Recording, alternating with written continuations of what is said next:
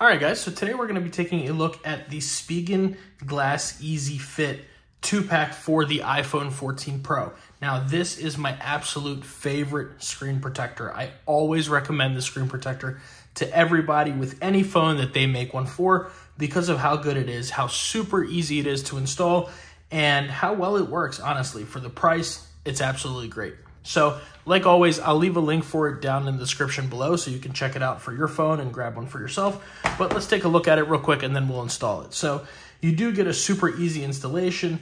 It does have the oleophobic coating, so you won't really get too many smudges from fingerprints and things like that. It is real glass with a 9H surface hardness. So, with that being said, let's go ahead and open the box. You'll see what you get. Now, I used to include a little pull tab here, but I guess not anymore. So let's go ahead and slide this all out of here. Just do it carefully because there is glass in here. So make sure we got everything. And so here are your two screen protectors that you get with the installation kit. They're already on here. And you get a little installation instructions. You get your squeegee, a little advertisement card, and you get your installation tools. So let's set all this stuff to the side and see what we get in here. So this is pretty much empty. You do get two lens cleaning wipes, one for each uh, screen protector. You get this microfiber cleaning cloth, your dust removal stickers, two sets of those, and also a how to remove bubbles little info card. So with that being said, let's go ahead and put it on the iPhone 14 Pro. Now this is the gold model, so let's grab one of our screen protectors. And we're gonna start by, now I do have the phone completely turned off. I find it easier with these phones that tap to wake to just do it with the phone completely off.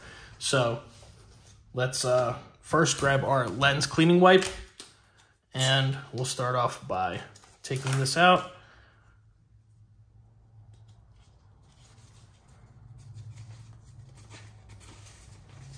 And we're just gonna wipe down the phone. Give it a good wipe down. Now I did have a Spigen screen protector on this before, but you know, after a few drops and things like that, it did end up breaking. So, however, screen is perfect, and that's exactly what it's meant to do. It is protecting the screen, so it does its job. So I'm just gonna go ahead and get all the edges where usually most of that glue residue is. And the good thing about these Spigen uh, screen protectors is they don't really come off with any kind of residue. Once you peel them off, you're pretty much good to go.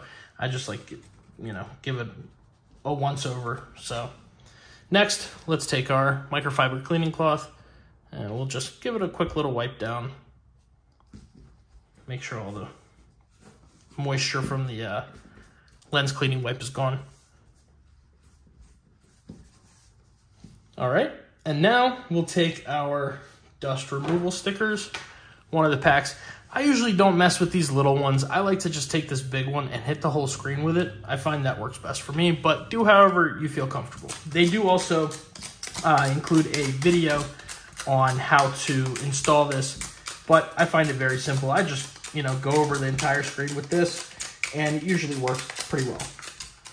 All right, I think we're good to go. So let's take that, set that over there, and we're gonna take our first screen protector and take this back piece off. Now hold this facing down so no dust gets there. And we're literally just gonna set this on top, just like that, and press and slide. As you can see, the little bubbles are forming around here, but you'll see this is gonna be a very super easy installation and hassle-free. Now you do have to wait the 30 seconds. Honestly, I like to give it a little bit more time and I just sit here and kind of slide this through. I don't know, maybe it's unnecessary, but that's just what I do. I'll sit here and we'll come back once that 30 seconds is up and get back to the installation.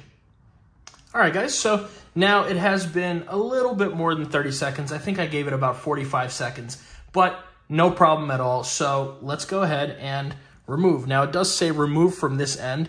What I like to do is I just kind of try to dig it up here and hold just the actual installation kit and the screen protector down while I do this. So that way it just kind of, you know, doesn't peel anything up. You don't have to apply any pressure at all. Just hold it a little bit. Take that and throw it away. And we'll lift this directly off. And as you can see, you do have the screen protector on here and it has a little bit of a film that you can see right here. And that's what we're gonna take the squeegee for. And we're just gonna get these out of here.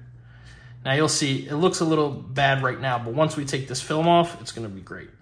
So just give it a little go over with this. Don't worry about any of these little scratches. This is just a little plastic film. We're just getting any possible air bubbles out. Now we're gonna peel this off and you have a perfectly installed Spigen screen protector. We'll go ahead and cut this phone on and it will fit just fine with pretty much any one of your cases. I do have that Disney Casetify case. This is my wife's case, so we'll take in here and we're good to go.